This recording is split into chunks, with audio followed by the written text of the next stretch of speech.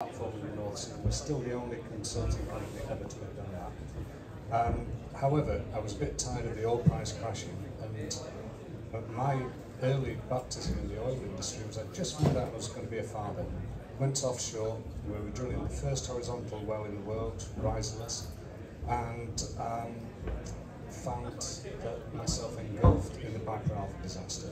So I spent the worst night of my life as 167 people lost theirs. It still makes the, arm, the hairs on my arms stand up every time. And I made it a plan that I would never let this happen on my watch.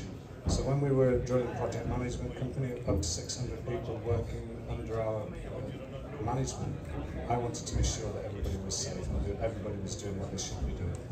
It set in train several events for me, so we developed a four-dimensional appraisal system for competency, ended up going worldwide with BP, Shell, BG, Premier Oil, Neptune Energy, etc.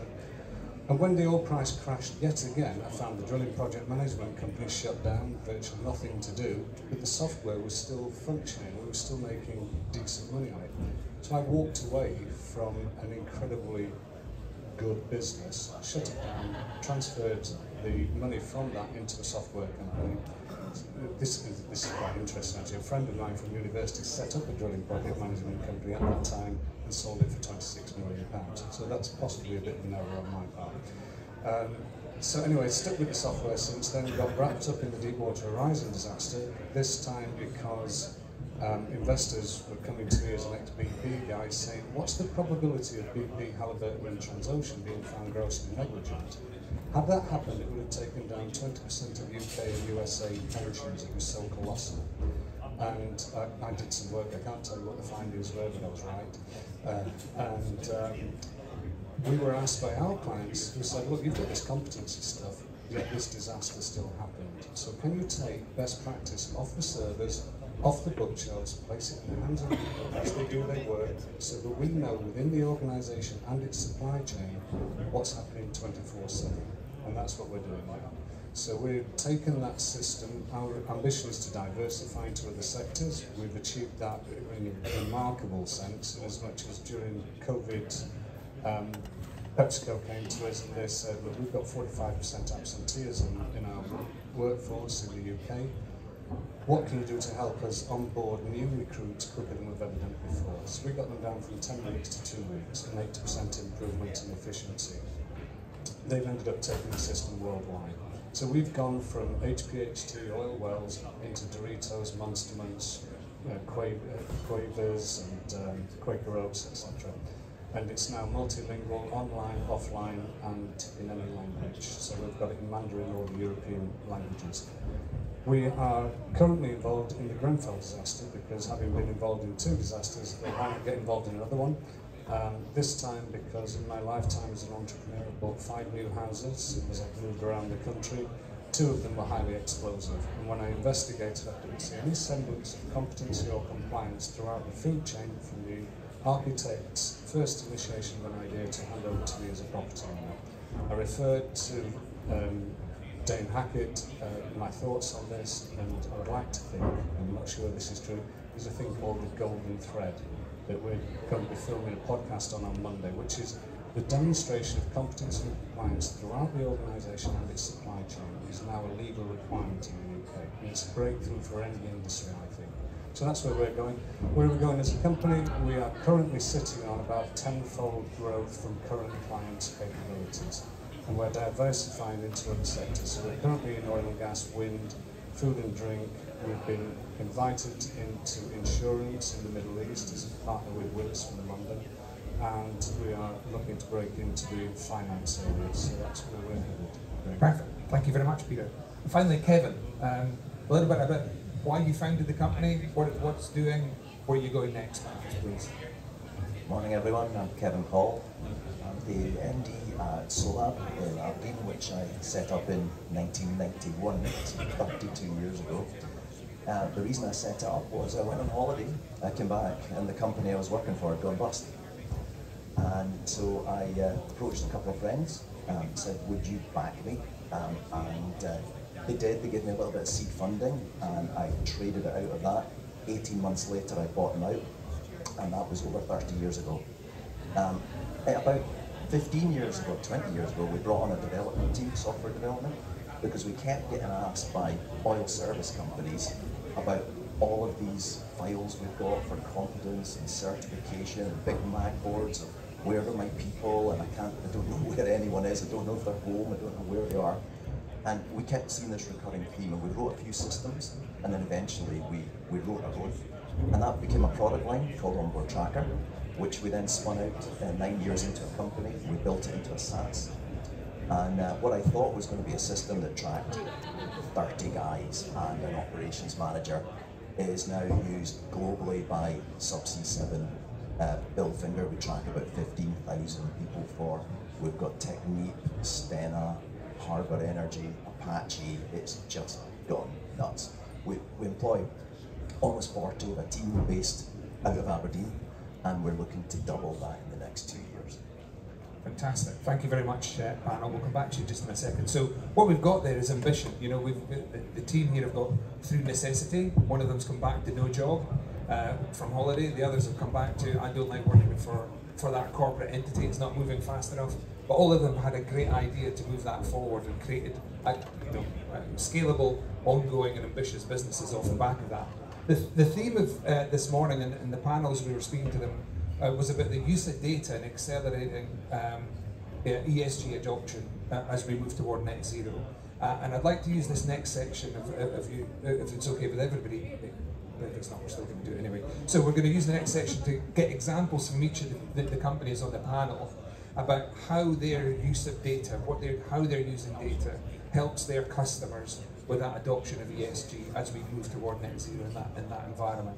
And Adrian, maybe if I could ask you to go first, would that be okay, please?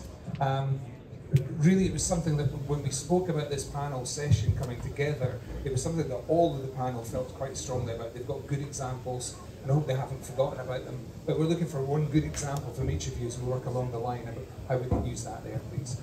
Thank you. Okay, so um, two, I'm, I'm, I'm going to go with the one that's uh, more human based.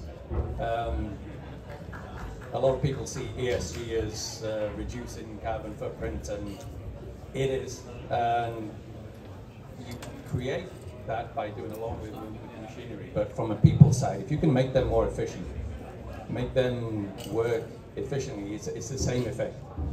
Uh, so, so we used one solution that, that we decided to roll out uh, where it was wiping out a small forest every day uh, with the safety behavioral based observation program. And, and, we use the digital tech to move away from CAD and paper based solutions to a solution that's now used across the globe, across so many facilities, uh, using iPads, using uh, entry points in any language. So we're using the technology to pick up the language, allow people to work more effective, effectively, make those observations in their native tongue. Uh, the end result is the safety of these installations has made one last step change, probably the last step change before the robots really do take over. Um, in doing so, these facilities are not shutting down. They're not having to lose X amount of days or weeks for flying out helicopters. And all of this does add up to ESG goals, targets, and objectives. If you can keep these assets, the facilities, and people working at their absolute peak, that's the best saving that you can get. Uh, so that's the, that's the example that I'm going to share. Um, and yeah, it's uh, it is making a difference. So that's a great example. I mean, you you by using data really well and evidencing it and making it in the hands of everybody as they're looking everybody's safer and you're moving toward that net zero, you're helping your customers in that space in real time. That's it. The, the assets are staying up, the assets are not going down because of nasty events and uh, less impact with investigation teams, sorry. but uh, yeah, that, that, that's, you know, everyone says the biggest prize out there yeah. is making savings. And that's, that's the example I'm showing.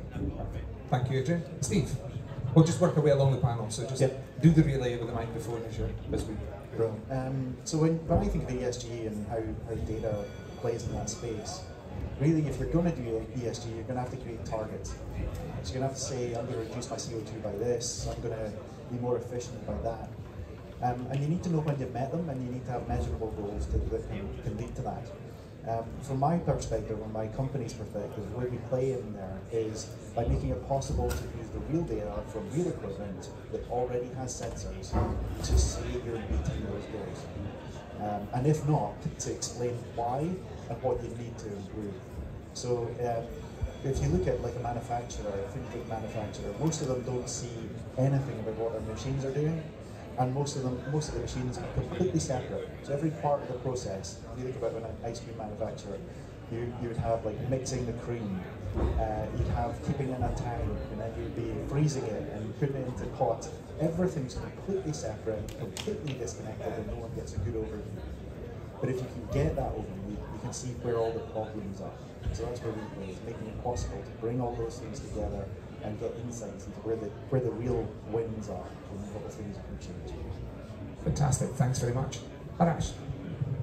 Um, actually, what Steve said resonated a lot with me. I think what uh, what is not measured cannot cannot be improved. You have to be able to, to measure these things and evidence the fact that you've progressed. I mean, there's it's a lot of organisations say, you know, we've got these targets, we've achieved these targets. So how have you done it? You need to evidence it. So, so that, that resonated with me quite a lot. I think that's ultimately what we're doing here is using data to evidence uh, progress.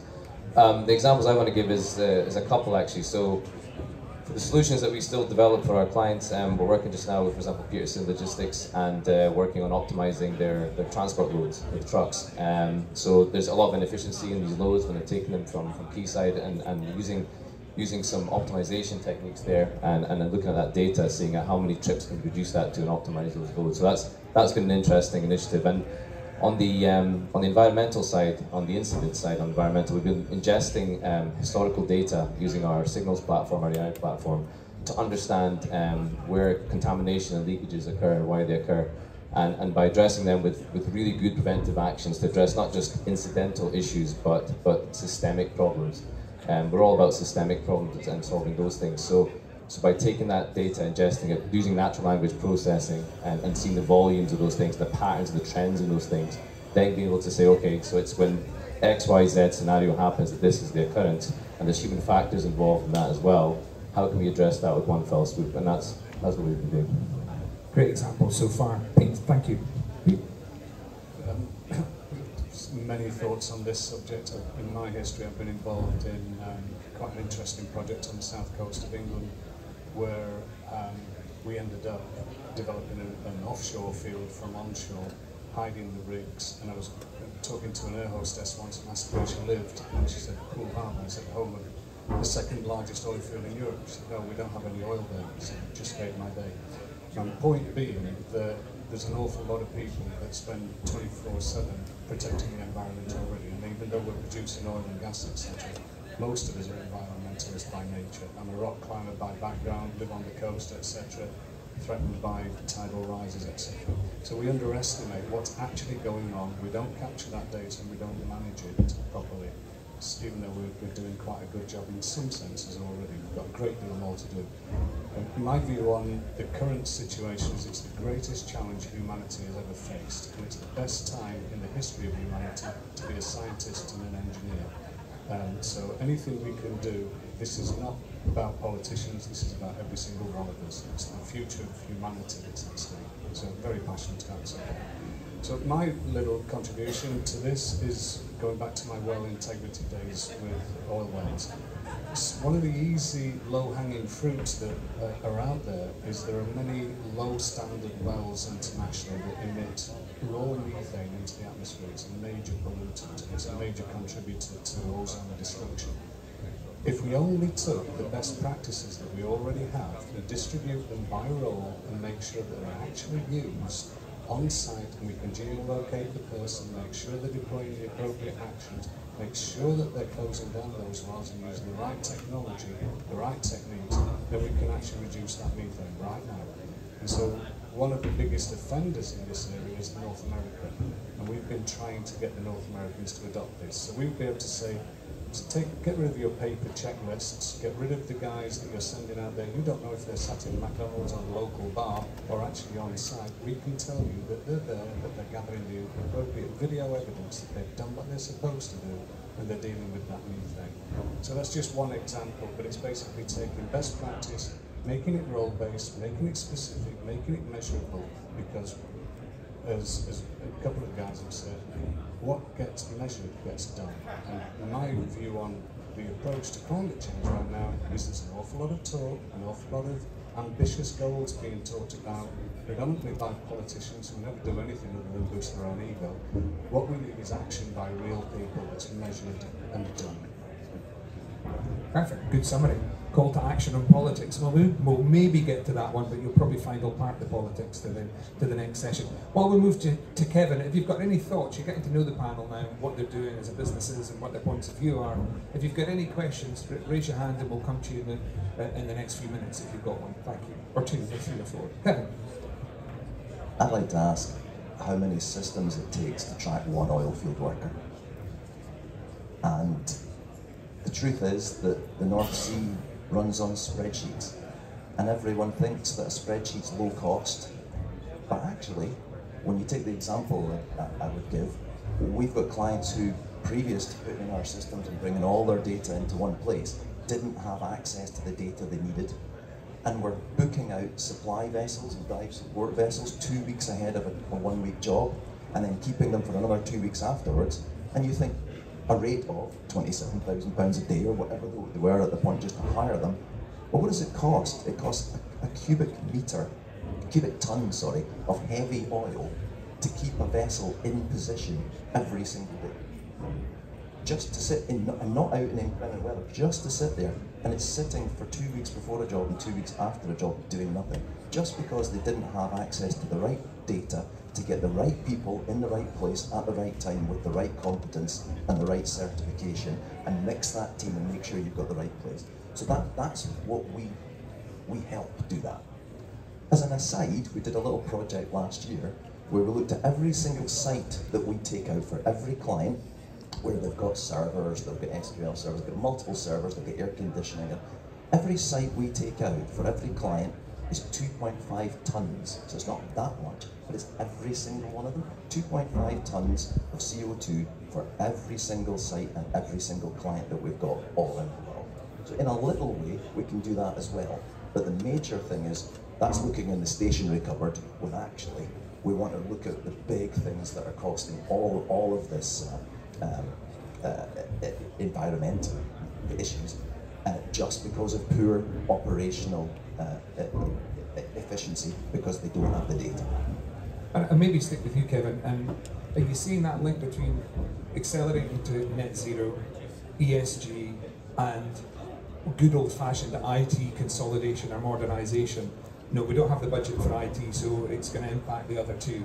We've now got a budget for ESG and net zero, so it's now impacting the whole business because we're from very similar backgrounds in that IT infrastructure part. Do you see that becoming much more circular now within organisation decision making? Absolutely. If you look at um, risk, risk sits with risk managers within these large companies. Risk managers don't have budget. They get all the money they need exactly when it happens, but maybe not ahead of time. So you might ask all you like for an IT project, you might ask for uh, all of, all of the, you might ask for years, and all of a sudden it happens because something changed. COVID, risk management, where did the money come from, come from to replace all that stuff when it wasn't in budgets the year before? Something changed and they made it happen. And ESG is now in every C-suite, every risk manager, every, every office is now measured. I'm trying to get venture capital. You have to, you have, to have your, ESG ducks in a row. Uh, so it's driving that. Um, and, but as we've talked about before, it's not about greenwashing it, it's actually living it and making sure that you're delivering something. And, and Pete, maybe back to you on that point around risk and greenwashing, and we'll, we'll, we'll still part the politics part, but but budgets are being enabled, enabled and for investment to net zero and investment in ESG rather than it just being a cost centre. Uh, in terms of the digital space, do you see that more and more in your side of things? Pick up on the risk aspect. We've got a big history in risk management, so we've done over 300 projects on risk assessment and management, including twice uh, Europe having oil on every beach, three corporate collapses, including BP on, on the Macondo or Deepwater Horizon disaster. And so we've got a big history of doing very complex Monte Carlo simulation, looking at probability of certain outcomes. So recently, what we've done with our software is um, a typical risk process is to assess the risk and group yourselves together. So what are the risks in this project? Then lay out what the probability of occurrence is, the impact of occurrences, what are the mitigating actions we're going to take, and what's the reduction in probability and reduction in impact. And we plot these on Boston scales and tornado. However, in my experience, more than 99% of the time, the mitigating actions are used best practice from either the internal organisation or the supply chain. What we're doing is flipping that on its head. And we were interviewed by a couple of senior uh, advisors from Gartner on the subject of risk management, and they said, one of them said, we're going to look back on risk management as if we were driving from the back seat of the car. And the other one said, I view you as ChatGPT of risk. I said, why? And said, because you're telling us where the next incident is going to be. And that's, that's the journey we're on. So what we're able to do with PepsiCo in the UK, where we're gathering circa 40,000 data points a month, is we're able to say, you are going to have this kind of incident on this particular production line with this particular shift, most likely led by that person, if you don't use this best practice. And not only that, we can take that best practice and make sure he actually does it and give you the statistics to show that he is actually using that data. So I, I flipped your question there, Graham, did I? no, I, I think from that point of view, you, what we're talking about is what is the enabler? I mean, what, what is the enabler for budgets in this space? Is it ESG? Is it net zero? It's not IT anymore. I think we all know it's not IT. Actually, the digital mask is now. A couple of interesting stats on that, and again from Gartner, is um, thankfully Europe is leading the way on ESG. So circa 53% of budget on ESG management systems is coming from Europe and we are a leader in the UK in that domain as well. And we are finding that, for instance, there is a particular standard from the USA which is used for ESG reporting, and circa 95% of Fortune 500 companies are deploying it. So there is budget, there is real appetite for it. It's one of the fastest growing areas of tech investment, in fact, the, the latest thinking is it might be another one of these bubbles where too many companies are being invested in too rapidly. But yes, there is absolute appetite for it. And for very good reasons we talked earlier. Biggest threat facing humanity. Let's hope there is budget. Yeah, absolutely. And uh, Rich, when you, you when you're looking at projects with customers, I mean, you mentioned Peterson's, but so where, where, where, how you identifying to unleash that spend when you're obviously you're seeing what the problem is, but what does the customer see what the problem is that you're solving? Well, it's an interesting point because what the what our, our friends here have said is, is, is, quite right. We, we've been in pitching uh, solutions and looking for that proactive response from the client, and typically, you know, we'll, we'll be said, well, you know, we're not we're not quite there yet, or that's that's a bit overkill for us at this stage. And then what happens is a significant event occurs. Um, the significant event could be anything from a, a fatality to a significant uh, spillage or leakage to a significant shutdown or equipment failure and then you'll be amazed at how quickly the phone starts ringing. Um, and they, they remember that discussion that we had and the presentation that we had about, about those proactive measures. Um, so the budget seemed to materialise at that point, and then and then they've got the money to spend this stuff. But we would we would wish that um, that mindset would change, and, and, and the proactiveness is there to, to put the best practice in before the significant event occurs. Um, and I think that mindset is changing. I think uh, those that are leaders in this space and, and some of the the uh, the operators that we work with are, are certainly looking at that way, um, and we're working with water, waste, utilities companies, rail, construction, and they're all kind of coming towards that. Oil and gas looked upon as a as more mature in that sense, but others are coming on board as well. And we've now flipped it to the proactive side, so as well as doing the investigations on the incidents that have occurred and understand the root cause of those, we've put in place uh, solutions where they can do audits and, and, and, and find and findings that they have in those audits, ta tagging them the same taxonomy so it says, and like everyone else has been saying here, if I'm getting the same finding occurring on these audits time and time again, if I don't address this, that's going to result in an incident with the same the same root cause, and that's that's that's where our focus has been. But the budgets are found when when the bad stuff happens. It's just we need to get it a bit a bit earlier. Always the case. Let's let's invest in airbags after the crash. Steve, how, how, how do you feel about what's been said so far? I completely agree with everything that's been said so far. I think what would pass the mic on then. That's no. Yeah, yeah. Thank, thanks, Joe. but I think what I'd add is um, I've been going through kind of a, a, a journey of thinking that's very, very close to this. And, and the frustration with people that don't realise that an event may happen, that realise that when it does happen is something that really rings with me. Um, it, I mean, it's great when a client has a problem, they phone you up and you go, if there's a fire, I need it taught, right? You, you go in, you're the hero, you put the fire out, you get paid, job done, everybody wins. Um, but, I, but like Arash, I, I often think about how do we change this around? How do we get people to think positively about the future and actually catch it before it happens? Because, oh, we didn't have an accident last month doesn't sound nearly as exciting as, oh, we, we had something and we've managed to solve it. Um, so I've spent a lot of time actually making spreadsheets um, that, are, that are calculating this to say, right, this is the risk of this happening. So if this happens when it should, um, then this is how much it's costing you per year. So here's how we can change that. And putting it in the client's language, I think this is something we, we should all do more of because uh, they don't seem to be able to do it themselves. Um, and the more that we can help in that way, the more they're likely to buy what we're selling. Well, that education part, just you need to pick up the microphone, Adrian. I mean, we're my other business, my business, the thing puts the shirt on my back, is uh, a big part of what we do is cyber security, and it's still not taken seriously until there's an event. You know, it's, it's like anything, health and safety, all these other things. Health and safety is a lot more mature in the North Sea for lots of reasons. But when there's an issue, there's also a magic budget appears from somewhere uh, through necessity. We've all we've all seen that. It's just the next generation. So Adrian, you, you mentioned robots earlier, and someone in the panel mentioned AI. It wouldn't be a conference for tech or digital it didn't mention robots or AI. But we'll talk about budgets, and then I'll, I'll, maybe come to you again on the question about robots and AI. How do you feel about what's been said in the panel through? How do we how do we educate our customers about the problems that they probably don't think they have until they come and slap them in the face? Well, it, it's it's certainly present. I mean, what you said is is when a horrible event happens, people very quickly realize that technology is part of the solution. And once that realization is, is in place, it starts to trickle to the other functions. You know, many of our solutions have been built on the back of a horrible event, like these guys, I'm sure.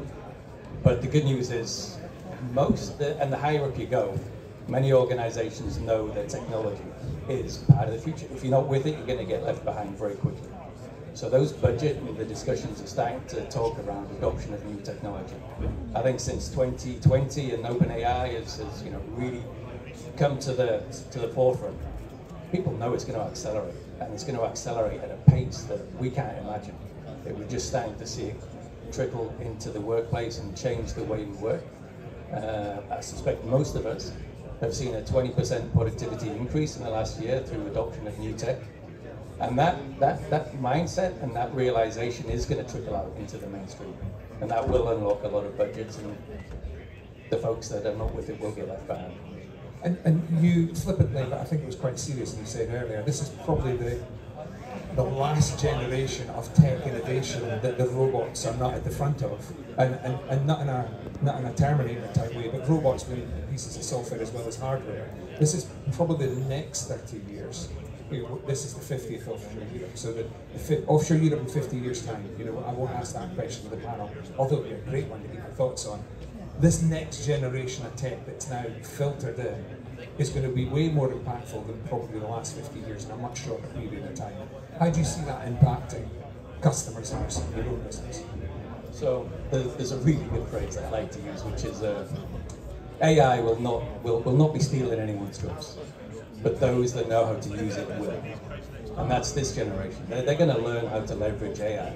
They're going to learn how to embed it into every part of the organization, which is good news because what Pete said about this huge challenge in front of us is real. And unless we get super smart about the way that we run our businesses now, then that challenge is going to be a real hard challenge to, to meet. And yes, it will eliminate jobs, but it will create a heck of a lot more and it will open up the minds to new ways of working and new creativity, which is what we're going to need to fix the problems that we're facing right now. It's a great point, and, and just as work away along uh, with the same question for Steve, Adrian, do you think there's a lot of user apathy with AI right now in terms of it's a lazy person's tool? Wow, um, I think I'll let Steve answer in your part. Yeah. yeah. they do finish each other's sentences quite on, and we'll get back to the ecosystem in, in a second. Yeah, but, yeah carry on. Um, I mean, I think it's kind of interesting now because I've used ChatGPT a lot in my work, and I feel guilty when I do it.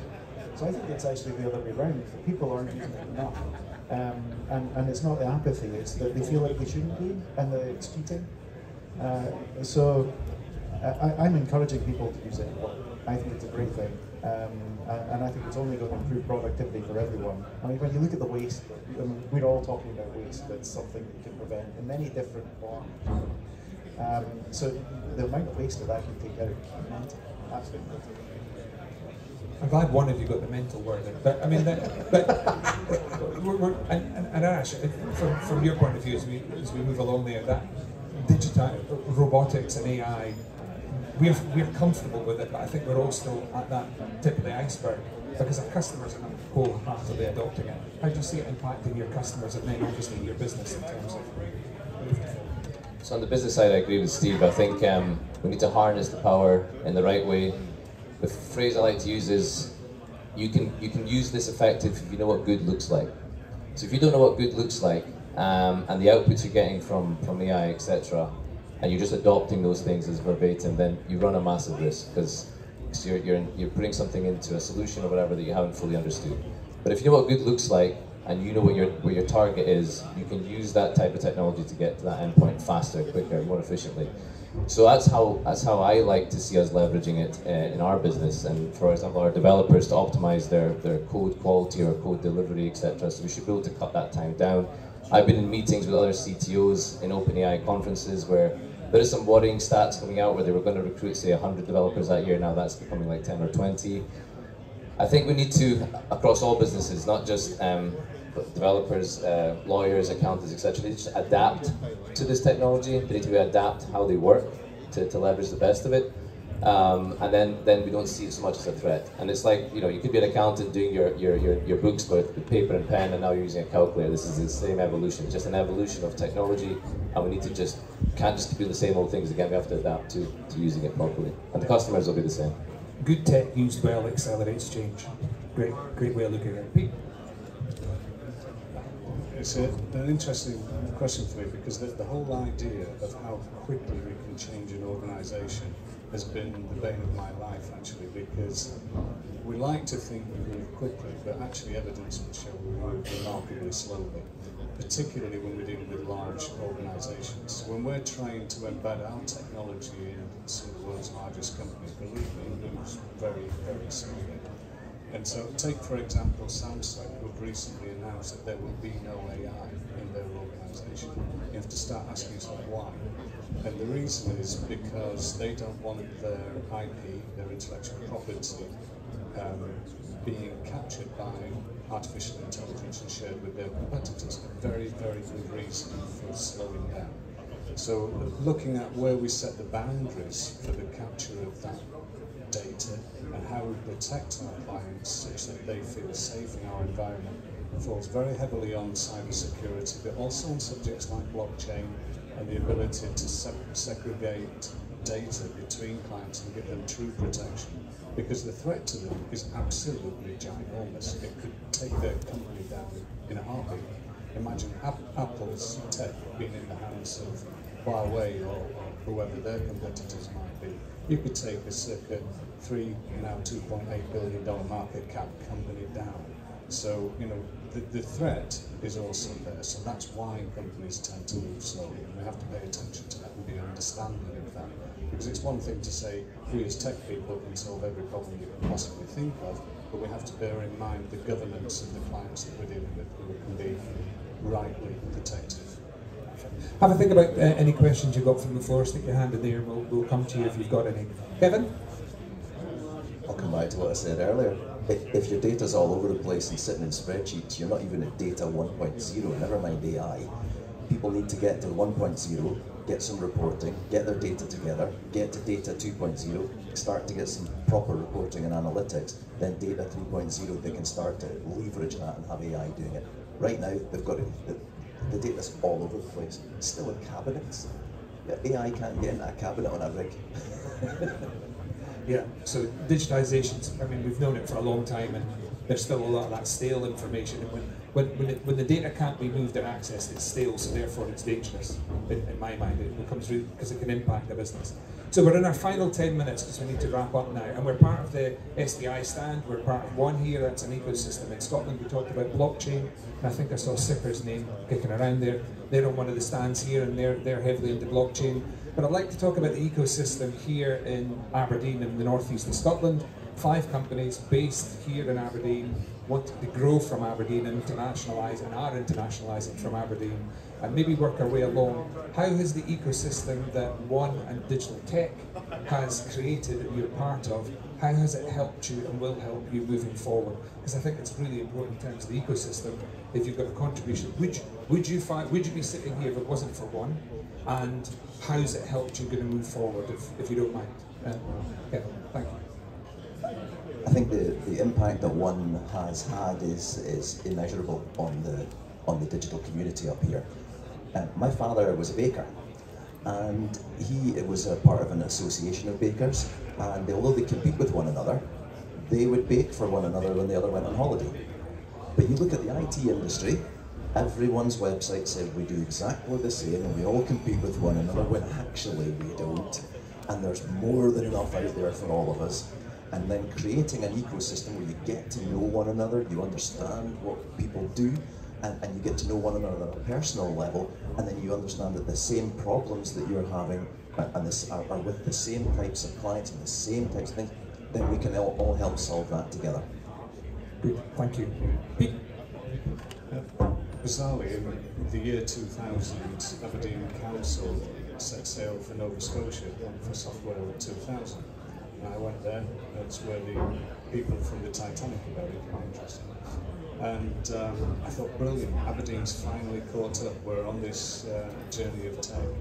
Um, and then it was pretty much shut down for a period. And so for me, it's delightful to see that actually we're realising this is a major growth opportunity. Other areas of the world have picked up on this and have grown enormously, and Aberdeen can do that and necessarily must. So for me, if we could back this group of tech companies and put it under one umbrella and, and forge alliances that made us actually work as one, just imagine as by example. So just having the ability to talk to one another, leverage each other's thoughts and ideas in a place that we all feel safe uh, is great. And I think looking at a number of younger people here, you're the entrepreneurs of the future.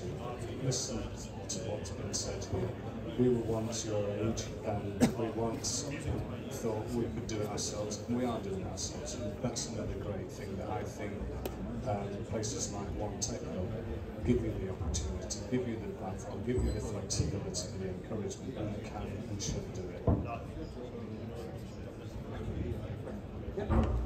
So in terms of one, I think um, uh, one is facilitate a platform where the technology companies in North Scotland can really showcase themselves. I think we all knew the capability was there, but one's kind of shone the light on it and, and, and been really helpful in terms of, I've been part of the business growth program uh, with individuals on this panel, and that's been really good.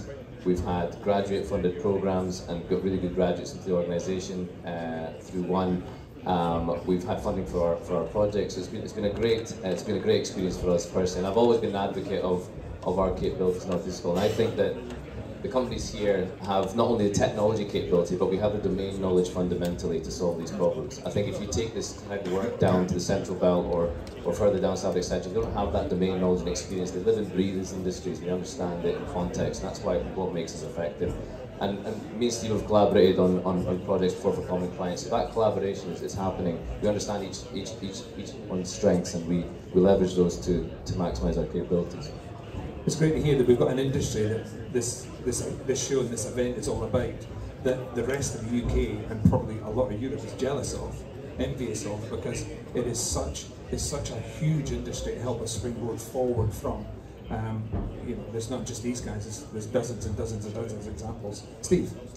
Yeah, I mean, um, so pre-one, I would say that if you looked around Aberdeen, you'd find a lot of people fighting each other for different things and not realising the opposite. Um, I think I was once in a panel with you and it was eating somebody else's lunch was the, was the term that was used. Um, but, but you can feel the change happening. Um, you know, th- there's a real theme in the area around tech that's growing and it's growing and it's growing. When, when you look here, you, you've got a panel of a few people, but this, this spreads a lot further. Um, there's an example of a, a robotics company, put robots in manufacturing, that's part of the, the one ecosystem. When you put that together with each of the things that everyone does, these are all things our client needs. It's not one of them, it's all of them. And it's how we put that together to make it really easy. Because we bring them together, we're effectively a massive vendor that is the area, and we're able to compete with some really big guys. Um, I think one's created the, the catalyst to make that possible. And, and you can see it in, in the, um, in the programs that we've had us on. Because you need to meet people to be able to break down the barriers to see that actually they're not they're not looking to eat my lunch. They're, you know, we're doing different things. Great. Adrian. Yeah. Uh, so pre-one, I, I would steal that. Uh, we were probably about eight. In, in the space of a few years, we've grown to 20. Uh, it has it acts as this incubator. Uh, it hasn't changed much of the client base. Much of our stuff is overseas still, but it gave us the confidence and the connections and the advice and the, the, the networking that allows us to take that next step and to grow. Uh, Aberdeen has been an oil field capital of Europe for a long, long time, and there's no reason it can't transform into a, a capital of innovation for heavy industry. The wind, look behind us, there's a bunch of new industry about to grow at a huge rate, and we're perfectly positioned to, uh, to, to grow with it. So, uh, invaluable. Uh, the one, the ETZ, the SDI, they, it's, it's, it's been phenomenal. I, I mean, what we what we wanted to do by putting this panel together is uh, represent what's happening in the northeast of Scotland and heading towards those 10 to 20, 30 million pound digital companies. It's that that is a game changer outside oil and gas, but absolutely enabled by energy. Energy sector enables that. And you look at the boards that are kicking around here about uh, alternative in terms of hydrogen and wind farms and so on. That's the next stage of enablement, from energy for companies like these to scale and new companies to start as well. Question at the back from the gentleman there. You'll need to be loud if that's okay, sir. Yeah, that's fine. Thanks very much. So my name's Joel Evans and I work with Invest Aberdeen. So we're the inward investment hub. We'll work with the likes of One. So we're looking to bring companies and investment into the region. From your perspective, what does the region need to do to make this happen and what would be good inward investment to come into the region? So you've got the microphone. One thing, we're on a time. I've got to, we've got to be out of the room in four minutes ish. One thing that you want to tell us to leave the room with for inward investment. Go. Copy the Scottish Tourist Board PR because they've done an amazing job of making Scotland, and it is a beautiful place. Uh, Aberdeenshire has got so much to offer. The outside world may not know just how much it's got, so uh, make it public. Perfect. Steve? Yeah, and um, in doing so, take a look at what we've got. The things that are hidden gems right now. I mean, we'd be hidden gems if it weren't for this panel that one's created. But um, taking these things, putting them together to create the podium that shows the things that are here. Because you, you kind of have to show it's here already for more to come. Never been called a hidden gem before, but carry on. I think uh, investing in the next generation is the big one for me. Um, and, and, and I know Steve does a lot uh, with the university, and, and I've done in the past as well. I think the next generation, giving them platforms where they can learn the new skills they need to learn, is, is a huge one for me, because I think we have got a deficiency there at the moment. So that's, that's important. Great one. I think the, um, the statement that was made by Graham there about we have an incredible platform here is staggering. So the reason that PepsiCo picked up our product and took it worldwide is because of our oil and gas history.